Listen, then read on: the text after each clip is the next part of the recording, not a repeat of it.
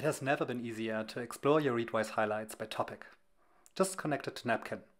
Go to Readwise, get your access token, copy it and paste it into Napkin directly when you set it up.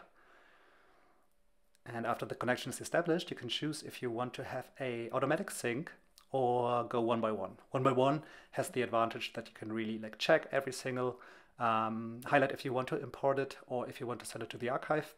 You can adjust tags.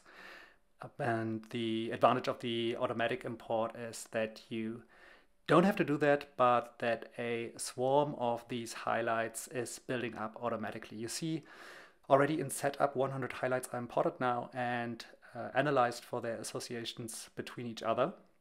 And as soon as you end the setup, you can dive in and explore all your highlights, how they are connected. And you can do that by simply clicking one idea, centering it, and then seeing the most relevant highlights next to it in the surrounding.